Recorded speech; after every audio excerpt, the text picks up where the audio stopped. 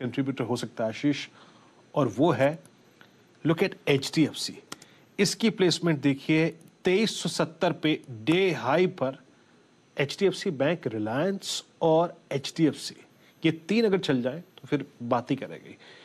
तेईस सौ इकहत्तर पर आशीष, ये अपने 200 डे एक्सपोनेंशियल विंग एवरेज को एग्जैक्टली स्ट्राइक करता हुआ एग्जैक्टली आशीष शत्रुमोता हमारे साथ मौजूद है। आशीष HDFC पे आपका एक व्यू चाहूँगा, उसके बाद आपकी बाज़ार पे समरी चाहूँगा, पर आपको लगता है क्या?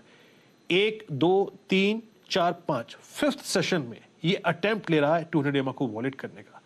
एक तो HDFC पे आपका व्यू कोई कॉल ऑप्शन व्यू और मार्केट्स पे आपका view good morning Virendra good morning Ashish ji तो देखिए H D F C bank में इनफैक्ट आज का जो मेरा एक पिक था, वो H D F C bank ही था तो इसको मैं रिहाइड्रेट भी करता हूँ।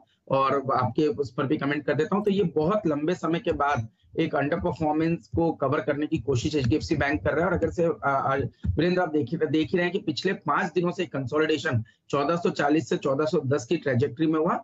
और आज खुलते ही बाज़ार के हम देख रहे हैं कि स्टॉक ने अपने तीन दिनों के हाईस को क्रॉस करने की कोशिश की। और हम जो शॉर्ट टर्म इंडिकेटर्स देख रहे हैं, वहाँ पे भी एक मोमेंटम एचडीएफसी बैंक बना रहा है। तो एच बैंक में एक लॉन्ग ट्रेड करेंट लेवल्स पे लेना चाहिए। चौदह का स्टॉप लॉस रखना चाहिए। पंद्रह सौ रुपए के लक्ष्य मैं समझता हूँ H D F C bank के स्टॉक में देखने को नज़र आ सकते हैं। तो ये मेरा एक पिक भी था दस बजे के शो के लिए तो इसको कंसिडर करना चाहिए।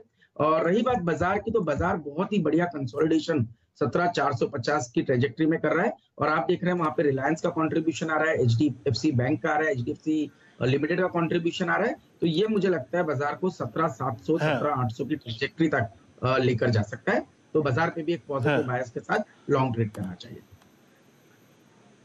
नहीं आशीष मेरा कोर प्रश्न था एच पर क्योंकि एच अब तक डिस्कस नहीं हुआ था। एच बैंक बहुत बार डिस्कस हो चुका है। लीजिए बात करते करते तेईस हो गया। अब टू हंड्रेड के ऊपर। मेरा प्रश्न आपसे एच पर था।